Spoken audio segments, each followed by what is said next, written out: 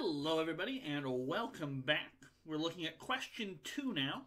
On our 2016 Euclid, we started it in the last video with question number one, and now we are up to question number two. There are two light bulbs and then one written portion here. So, A part, uh, what are all values of n for which n over 9 is equal to 25 over n? Alright, simple fraction equation, so n over 9 25 over n. I'm just going to cross multiply, multiply both sides by n, and we'll get n squared. Multiply both sides by 9, we'll get 9 times 25. So you could uh, write it out as 225 if you want to. Or you could keep it as 9 times 25. Remember, the 9 is 3 squared, 25 is 5 squared. Either way, we can see that this is 15 squared.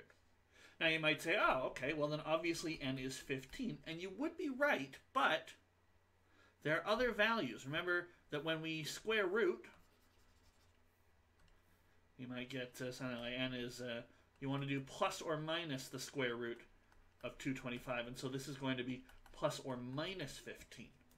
Because there's no part in the question where they say that n has to be positive. So minus 15 will work uh, just as well as 15. And we want to get both values. So we'll say 15 or minus 15. Right, there we go. Okay, uh, B part. What are all values of x for which x minus 3 times x minus 6, or x minus 2 is equal to 6? Okay, we've got a quadratic here. Uh, what I think I'm going to do is set up the equation, expand it out, and then move the 6 over to the left-hand side. So I can get a 0, and I can either use the quadratic formula or factor or something uh, to get myself an answer. So we'll get x squared minus 3x minus 2x plus 6 is equal to 6. The 6's are actually going to cancel out. We'll get x squared minus 5x is equal to 0. We can factor that, or if you need to, use the quadratic formula. That's fine as well. But we can factor, take out factor x. x times x minus 5 is 0. And so x is either 0 or 5. Remember, if you have a product of two things being equal to 0, one of those two things, or possibly both, are equal to 0. So either x is equal to 0 or x minus 5 is equal to 0. Okay? If you want to, of course, you can double check, plug the 0 back in here. Minus 3 times minus 2 is 6. Or 5 minus 3, 2 times 3 is also equal to 6. Okay? And there we go. So uh, 0 or 5. Let's get a fresh sheet of paper again. And now we've got uh, C part here. At Willard's grocery store, the cost of two apples is the same as the cost of three bananas. Ross buys six apples and uh, 12 bananas for a total cost of 630. Determine the cost of one apple. Okay. So we could say something like, uh, and it's a written question, so we probably do want to say, you know, let A be cost of apples, B be the cost of bananas because we have to explain our answer. And if you know you're going to explain something, it's nice to explain to someone what terminology you're about to use.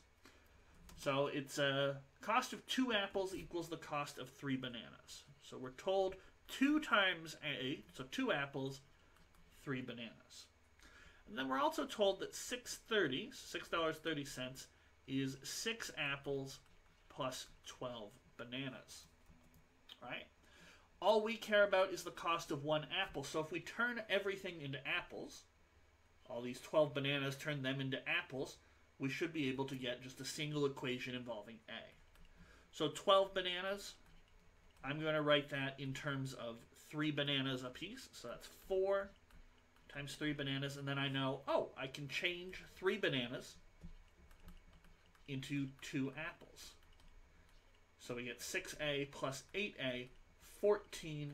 Okay. So uh, what can we do? Well, we could divide by uh, 14 on both sides. Okay, so I'll grab my calculator. Uh, I could say, well, it's going to be 45 cents. Uh, you can see that if you want to in your head, but there's no shame in, in using a calculator. So 630 divided by 14, we get $0.45 or 45 cents. Okay, so you would probably say one apple costs a dollar forty or no I was about to say a dollar forty five. No, it's zero dollars forty five cents or zero point four five dollars. Okay. Well, we have a nice little answer. Probably put a box around it so it's very easy for whoever's marking to mark it.